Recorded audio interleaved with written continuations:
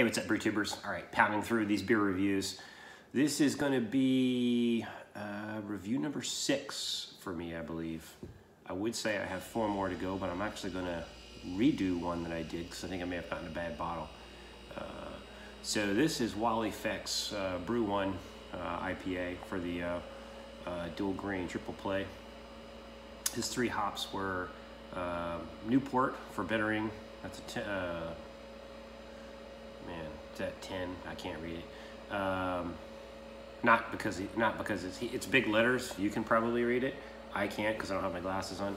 Uh, I lost them in California. Um, then he's got Brew One, the experimental hop, and then uh, uh, for his three uh, flavoring additions, and then he's got Simcoe uh, on day one and day 14 for his dry hop. So uh, don't have his ABV on here, but his OG was 1070 and his final gravity was 1016, so um, that's close. Probably just under eight, maybe. I don't know. So anyway, let's crack this and get into it. All right, a little small hiss coming out of there, and the pour. Can already tell it's going to be pretty, well, some slight haze, but it's pretty clear. And Wally's is always like no junk in the bottom because he he bottles off the keg, but somehow, even though he bottles off the keg and I do, he gets less sediment in his. And sometimes, uh, I think, like for this experiment, I got a little bit of gunk in the bottom. Not sure why that happens, but anyway, um, yeah, color looks looks about right on. The head was about half a finger. It's starting to dissipate, uh, not rapidly, but quicker. Uh, and yeah, yeah, good color. Uh, good kind of slight haze. Could be chill haze. There's a lot of hops in this thing. And let's get a nose.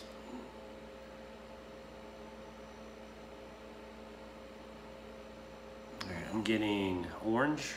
Yeah, getting orange, light citrus off the nose.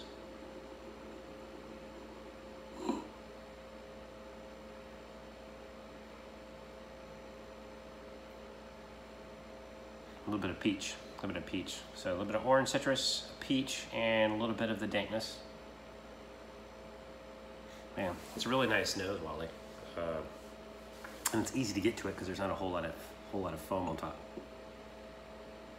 Okay, yeah, man, dude, this is a good smell. All right, cheers, Wally. Thank you for participating in the 2018 uh, hop experiment.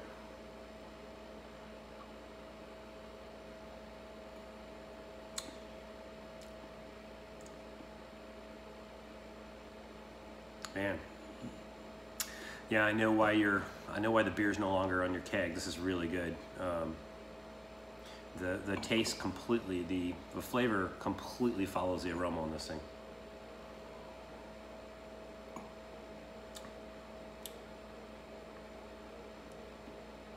Yeah, I mean, I can kind of taste uh, orange peel, a little bit of grapefruit, a little hint of the of the peach that I smelled. I get a, a slight kind of grassy uh, quality.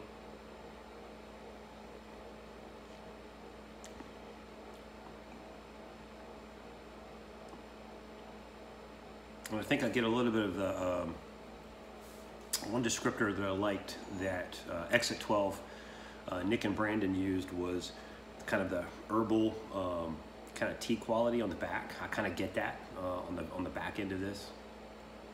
So man, the aroma on this thing is kicking. Wow.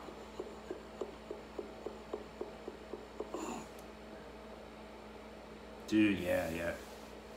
Again, now that I've gotten a little bit of headspace in here, you got some serious dankness going on in this thing. Some that kind of that kind of onion uh, dankness, onion flavor, you know, aroma that is kind of the you know, or black. I think they taught us to say black currant, dude. This is this has got it kicking.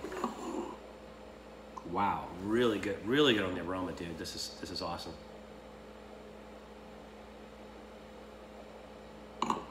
Hmm. So let's see. Um, at Simcoe, that might be Simcoe doing it.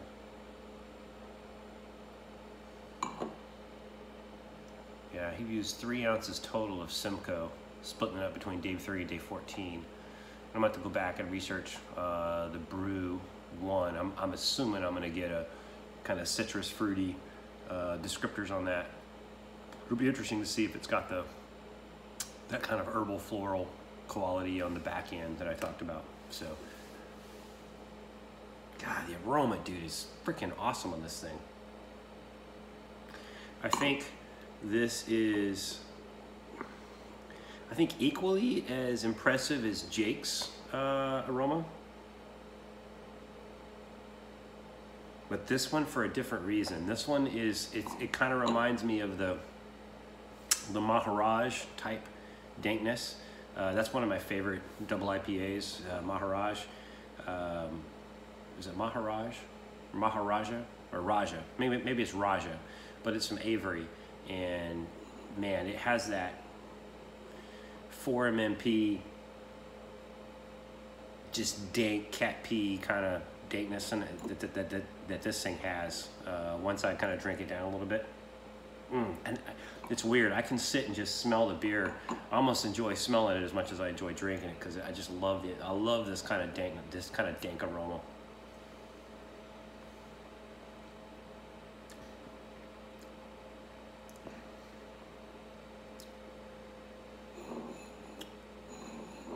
It doesn't taste like a 1016 attenuation, and what I mean by that is 1016. I'm kind of I kind of trained my tongue to kind of understand what the final gravities usually taste like. And for me, when, it, when I brew a beer and it stays around 1016, like usually I think I get old school down to 1014, 1013.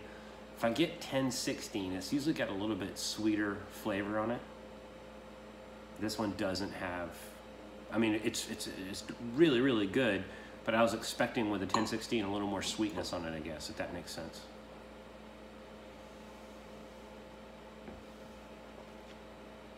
Mm.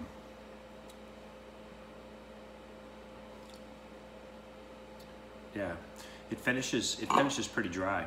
Uh, man, that aroma is good, dude. Your your dry hop is whatever whatever your technique is. You know this. Uh, what is it? Day 14 and day day three. I'm gonna have to try that. Day 14 for seven days. Oh wait a minute day three of primary. So you put this in in primary fermentation. Hmm. Well, I'll be damned. Well, I might have to try that because I haven't done that. I never put it in on day three of primary fermentation. So you still got a little bit of krausen left, I would imagine. Um, significant amount of krausen, actually. So, I mean, I've heard of, you know, I've, I've been I've, I've done that before doing a New England IPA, but I've never I've never done that just on a regular IPA. So I'm gonna have to go back and try that uh, because it, it obviously works. It's a cool thing about these experiments. You see one that you're like, oh wow, how'd you do that? And then you, oh, well maybe it's the dry hop technique. So anyway, dude, uh, really good beer, Wally. Uh, really, really enjoyed this, and thank you for participating in the Hop Experiment Challenge. Wally ran this thing last year, so uh, I believe it was Wally I think Puka might have run one too back when he was still doing this. I think I participated in Puka's. Uh, and then his house like flooded or something and he wasn't able to taste the beers. But anyway, I digress. Hey, uh, thanks, Wally. Cheers, man.